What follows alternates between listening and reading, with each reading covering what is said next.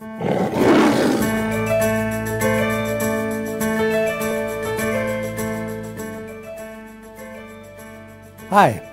I'm Arnie Gundersen with Fairewinds Energy Education. The CO2 smokescreen, Building New Nukes Will Make Global Warming Worse, is the title of a groundbreaking speech I gave recently at Canada's University of Quebec at Montreal.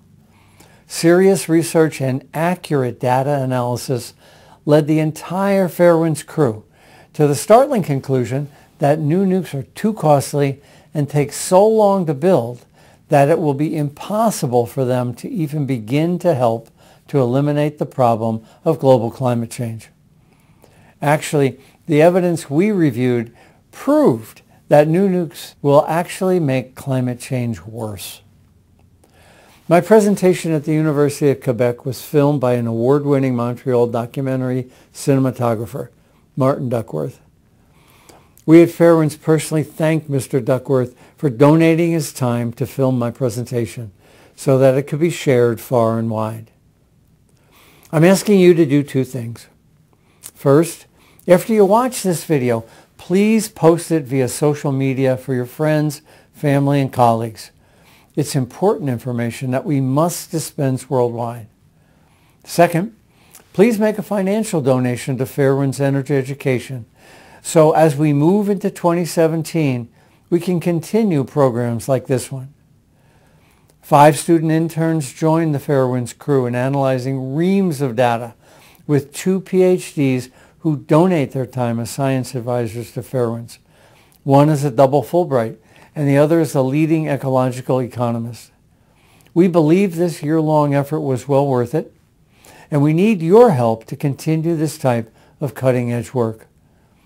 I hope you feel moved to action by this presentation and the rest of the nuclear CO2 smokescreen information we'll be sharing with you. Thank you for supporting Fairewinds Energy Education. We'll keep you informed. Bonjour, thank you for coming. Um, I'd like to thank the, the people of Montreal and the, the province of Quebec for holding this, uh, this important conference. Um, what you're about to see is a presentation that's taken Fairewinds almost a year uh, to develop. We've had four University of Vermont uh, um, students that, that uh, helped with the analysis as well as two, uh, two doctors. One is a double Fulbright and the other is a, uh, uh, the head of the environmental ecological movement. So the numbers I'm going to give you today are, have been totally fact-checked and are impeccable. The, uh, the topic today is the CO2 smokescreen. I was in the nuclear industry and built nuclear power plants in the 70s and the 80s. And uh, I can assure you that those plants were, were built, when those plants were built, they had absolutely nothing to do with carbon dioxide and, and, and global warming. Um, when we built them, and I was part of the we that built them, we uh, were worried about energy shortage. You may, may remember you know, gas line uh, shortages and things like that. Um, uh, they were built with the mistaken impression that building nukes would uh, eliminate the energy shortage. Uh, but it had nothing to do with carbon dioxide. So now the new focus on nuclear is, oh my gosh, without them, we're going to destroy the world and it's all going to melt. Um, and my position is that that is a smokescreen. The, the bottom line here is that um, um, 35 years in the future, that uh, these nuclear plants that are proposed are only going to mitigate carbon dioxide by about 6%. And what I'd like you to do today is um, uh, I, am going to ignore, for the purpose of this presentation, the desecration of, of, of native lands from mining, the desecration of, of, uh, Fukushima Prefecture and other uh, areas that might be destroyed from uh, nuclear disasters, and also, of course, the long-term storage for um, a million years of the, uh, of the nuclear waste. So let's just set all of those liabilities aside and, and talk about money. Right now, there's 438 nuclear power plants in world. The, um, Um, and that's a nuclear industry number uh, from the World Nuclear Association. But I think it's important to remember that all of those plants were built in the late 60s, the 70s, and the 80s, with a few built since then. But the, the uh, big building uh, process was in the 70s and 80s. And um, in the, at the very end of that, uh, I think what Forbes magazine had to say about this nuclear buildup is important. Now, Forbes, if you're not familiar with it, is, is certainly not an anti-nuclear group. They're a managerial uh, uh, Bible uh, throughout the world. And they called this nuclear buildup the biggest managerial disaster in the history of the world. So now we've got these 438 plants. And the nuclear industry is, is saying, you know, don't shut them down because the ice caps are going to melt without them. And what I'd like to do for the first half of this presentation is focus on the, um, uh, the impact that the nukes that are running right now are having on the, uh, on the environment. So there's, there's two numbers I'll be talking about. The first is gigatons, and, and that's how many, a giga is a thousand million. Uh, you might call it a billion in the US, but other cultures don't use it. So a thousand million is a giga. So a gigaton is a thousand million tons. And um, so that's the amount of junk that's thrown into the atmosphere every year. And the, the second term is, uh, is ppm, which is parts per million. So once you throw this carbon dioxide in the air, it gets dispersed. And how many parts per million? So we'll be talking about gigatons and parts per million throughout this. One's a concentration and one is just the total number of pounds that go up into the atmosphere. So the, uh, the first thing uh, to, to know is that uh, some really bright people dating back into the 60s, decided it would be a really good idea to constantly measure the carbon dioxide buildup in the, uh, in the atmosphere. And they did this in Hawaii at a place called Mauna Loa. So when you hear about the Mauna Loa data, um, it's the oldest continuous sampling of carbon dioxide uh, in history, and it dates back until uh, the 1960s.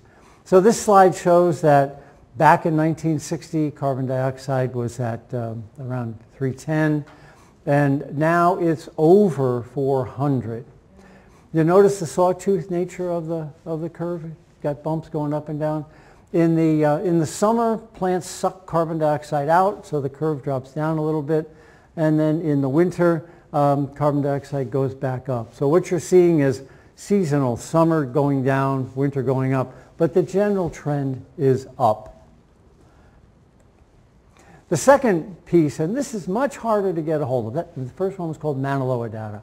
Uh, the second one is uh, how many tons of carbon dioxide are human beings throwing up into the atmosphere every year.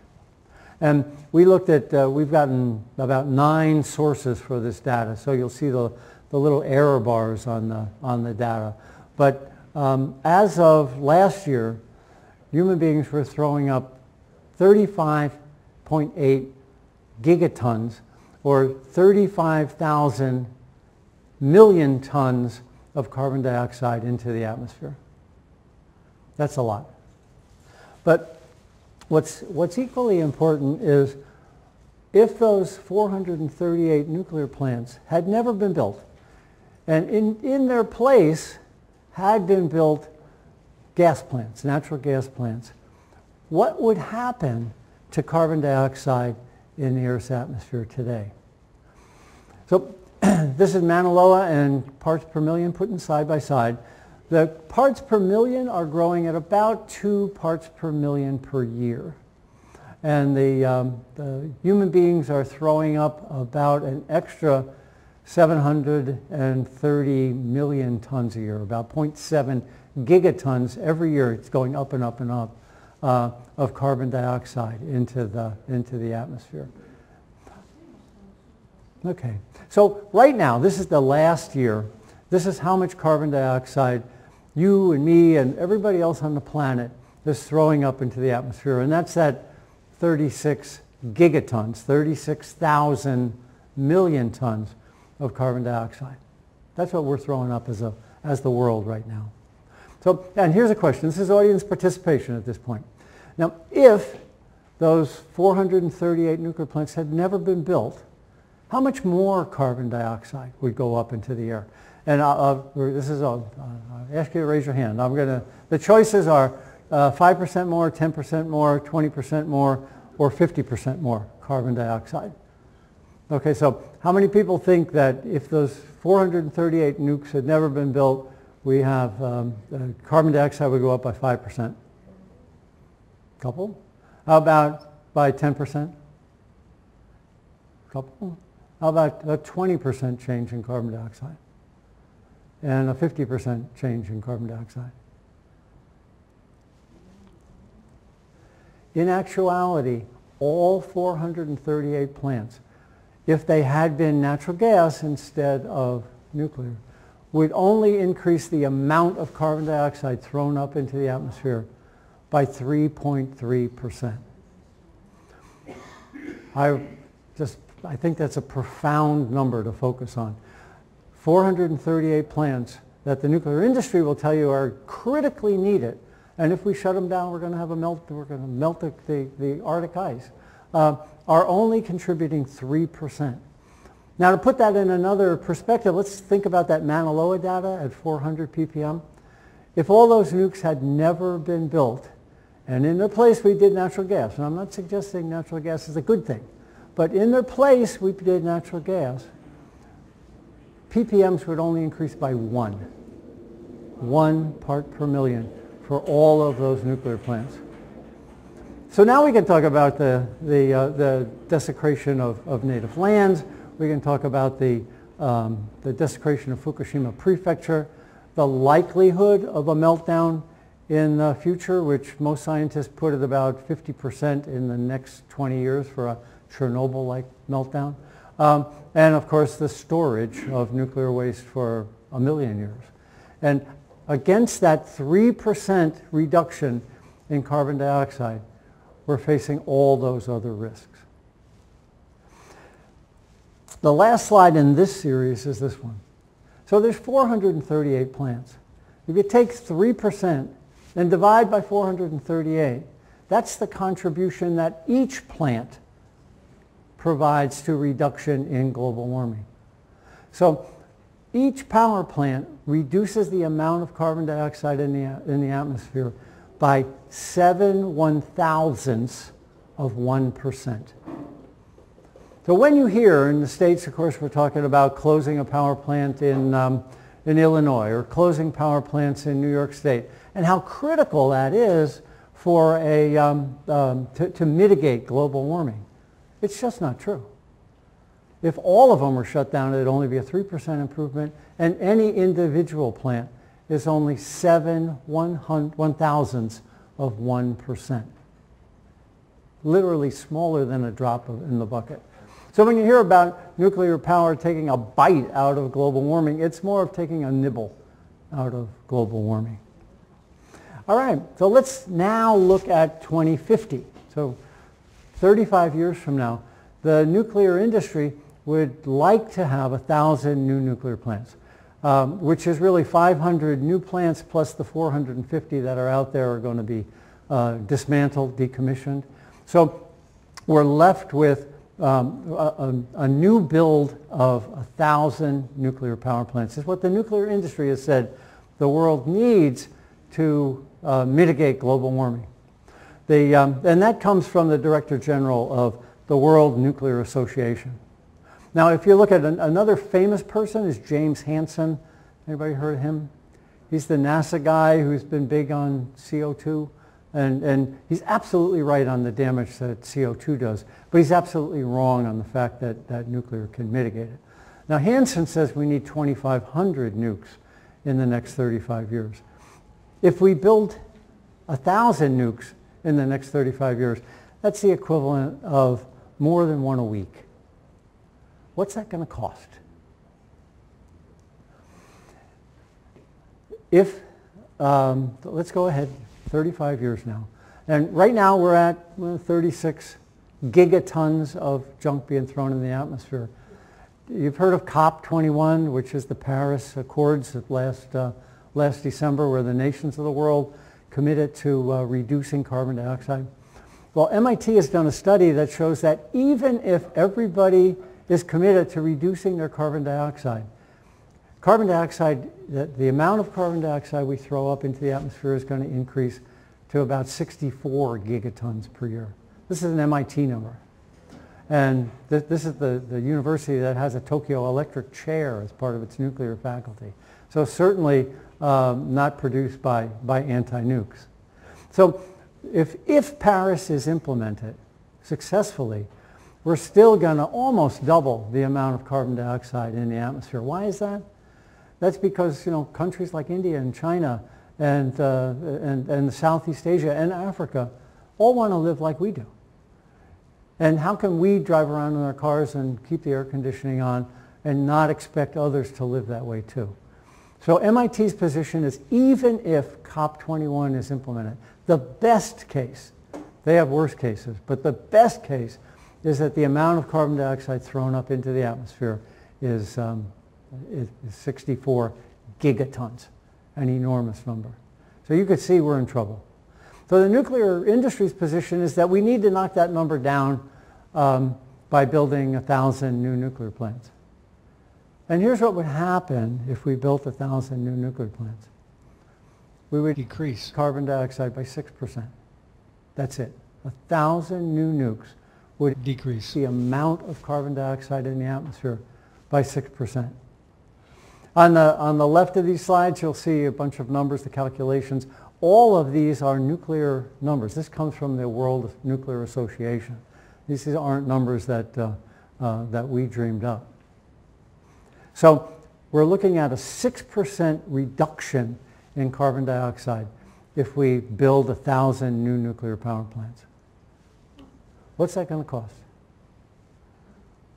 $8 trillion to make a 6% reduction. Now where does that 8 trillion come from? It comes from Lazard. Lazard is an investment banker. They don't have a dog in this fight. They're just following the money. So is it really worth, the question I put to you is, is it really worth $8 trillion to reduce carbon in the atmosphere 35 years out by 6%? There's a second piece to that. It will take 35 years to build those nuclear plants. And carbon dioxide is growing at 2%, 2 ppm per year. So that means the average nuclear plant is going to come online 17 years from now, which means that carbon dioxide is going to grow 2 times 17 or 34 parts per million while we're waiting for those nuclear power plants to be built. Carbon dioxide is not going to take a vacation while we sit around and wait 35 years for a 6% solution. That power plant, by the way, is in California. So if it's gone up 35 parts per million while we're waiting for these plants to be built, now those power plants not only have to reduce the carbon that we're living with now, but they've got to bend the curve and make it lower than what it was now, which can't happen. Those six, uh, that 6% of the nukes will never produce enough uh, carbon dioxide offsets to offset this 34 parts per million um, that they're already setting, uh, already occurring at a, at a deficit. This next series of, of 10 slides comes from Rocky Mountain Institute, and I'd like to thank them for, uh, for giving me permission to use it. Um, what this does on the left is what would happen if you built three gigawatts of nuclear power. And on the right, what would happen if you, uh, if you used uh, photovoltaics instead? Um, a gigawatt is roughly the size of a single power plant. So what would, uh, so three gigawatts, which is where we'll get to at the end of this slide, is the equivalent of building three nuclear power plants. And I might add, these numbers are very optimistic in favor of the, of the nuclear industry. So in year one, you, um, you start to um, license a nuclear power plant. That's represented by the paperwork on the left. And um, on the right is you build a plant to create solar cells. So left is building these three nukes. Right is building photovoltaics. So you're one, nothing. And uh, the key is to look at the very top of this line up here. It's how many gigawatts are generated by photovoltaics versus how many gigawatts are generated by nuclear power. So year one, no gigawatts are produced. Year two, the power, the, the, the facility to build solar cells has already built enough solar cells to generate one gigawatt. Remember, that's one gigawatt is the equivalent of one nuclear power plant. So in the first year, while the nuclear plant is still being licensed, you've got the equivalent amount of, of photovoltaics already out there and being implemented. Second year, now you've got three gigawatts. That's this number up in the, up in the right-hand corner. Three gigawatts of photovoltaics out on the grid. And still the nuclear power plant is still just tying on its sneakers. Year three, six gigawatts to zero for the nuclear. In the fifth year, 10 gigawatts, nothing for the nuclear. It's still being built. This is now they put a shovel in the ground or actually uh, uh, building the power plant. Year six, 15 gigawatts, nothing for the nuclear. Year seven, 21 gigawatts, nothing for the nuclear. Then year eight, the first nuclear unit of these three finally come online. So we've got one gigawatt of nuclear and 28 gigawatts of, of solar power. And this is what I mean, nuclear's global warming is not going to be taking a vacation for these eight years. Carbon dioxide is going up and up and up, whereas the photovoltaics begin to stop it immediately. Year nine, the second nuclear unit comes online and photovoltaics, so you've got two gigawatts of nuclear and 36 gigawatts of, of solar. And finally, I run this out for 10 years, and you've got 45 gigawatts of solar and 3 gigawatts of nuclear. It really talks to this issue of how much um, lead time is built into these calculations. So in the States, when we hear somebody in Congress say, well, in, in 2030, we're going to have the first small modular reactor, that's 15 years from now. Do we really think that global warming is going to sit around and wait for this first small modular reactor, if in fact it ever was affordable? So now there's one other piece of the puzzle, and that's money. There's this thing called the levelized cost of, uh, of operating a, a, a, power plant. And it's basically, basically what it would charge once it was built into the, um, into the grid. So we, we also call it bus bar energy. And it includes three things. Um, the, the capital costs. And of course, nuclear power plants have a very high capital cost. But you'll hear them saying that, oh my gosh, once we get it built, the fuel is free or pretty darn cheap. Well, the last time I checked, solar was free, wasn't it? So solar is cheaper and the fuel is free also. And then the last piece is the cost to operate. A nuclear power plant requires about 700 people. The average salary is about $100,000. So the staff at a nuclear power plant is very, very high. So the cost to send that power out to the grid is, is what this slide, this slide represents. Assuming you could you spent all that money and assuming you waited for the, um, the, you know for the 10 years for that nuclear power plant to be built let's compare the cost of solar versus the cost of, uh, of a, uh, a, nuclear power plant so the green bars represent um, uh, contracted costs these are already committed dollars by I don't know almost a dozen different solar power plants that have been built and um, on the left is 213, on the right is 216. And you can see that the contracted price, prices that entrepreneurs are willing to sell you solar electricity at, have dropped from about 7 cents down to about 3 cents a kilowatt. Now the, the other numbers at the top are four nuclear power plants that are um, being considered to be built, one of which is under construction right now. That's Vogtle. But um, North Anna, Turkey Point, and Hinkley Point are all proposed to be built. And you can see they're all at 13 to 18 cents a kilowatt. So the question is, why, even if I had $8 trillion to build 1,000 nukes to offset 6% of the carbon dioxide, why would I do that? It doesn't make economic sense. The last line on this, this curve, the, the, the, green, the blue line that cuts through the green, there's the cost to conserve. It's called a negawatt, negative watt. The, if you're going to insulate your windows or change your light bulbs, um, the cost to conserve is around 3 cents. And you can see now solar, building new solar is actually right around, if not slightly less than, the cost to conserve energy which I think is an incredible number. It's actually cheaper to produce solar power than it is to conserve energy based on, again, this, this comes from Citibank. They're not exactly an anti-nuclear outfit either. They have no dog in the fight. They're, they're, they're an investment banker. So uh, this is from the, the same Citibank report.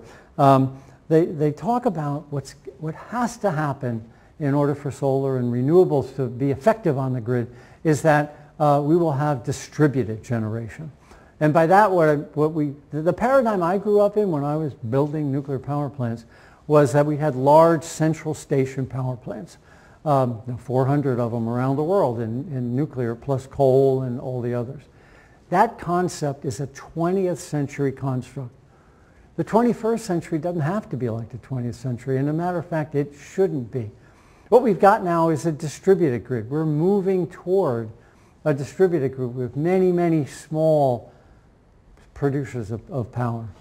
So anyway, Citibank says utilities, the traditional people that own these central station power plants can be winners, but they have to transform with the times. And then they talk about renewables, solar, wind, etc., despite intermittency. And what that means is we all know the sun doesn't shine all the time. But there will be systems built into the grid to, um, to accommodate the, the highs and the lows of solar and wind production. Um, despite the intermittencies, renewables could operate as smoothly as traditional fossil energies. It's the Citibank saying that. So when you have your nuclear people say, we need baseball, baseload power, um, it's like you can't play uh, hardball with the big boys unless you're in the nuclear league. That's really not true. As a matter of fact, thousands of small distributors make a grid that's more reliable than a few big power plants. Citibank. The, um, uh, the other thing that I suggested at the beginning of this presentation is that having grown up building nuclear power plants, it was never about CO2. CO2 is a marketing ploy to, to mask the fact that somebody wants to make $8 trillion building power plants to solve 6% of the world's problems. So um, I wanted to share this with you. I was quoted, I gave a speech uh, a little over a year ago. We all know that the wind doesn't blow consistently and the sun doesn't shine every day. But the nuclear industry would have you believe that humankind is smart enough to develop techniques to store nuclear waste for a quarter of a million years. But at the same time, humankind is so dumb we can't figure out how to store solar electricity overnight. So that's really the bottom line. Do we really want to store toxic nuclear waste? Do we really want to desecrate Native American and First Nation uh, um, uh, reservations to, to draw uranium out of the soil? Or do we want to develop a grid that's distributed? Then I submit to you, not only is that um, um, uh, interesting and, and, and morally appropriate, but it's economically appropriate too building new nukes doesn't make economic sense. There's a thing in, in, um, in economics that's called um, the um, opportunity cost. And what that means is if I commit $8 trillion to building nuclear power plants, that's $8 trillion I can't spend on solar or wind. So if you tie up 8 trillion on nuclear power, you're actually making the problem worse. Because the alternatives can come online faster, and cheaper than nuclear power ever could. All right, thank you very much, and uh, I'll take questions later.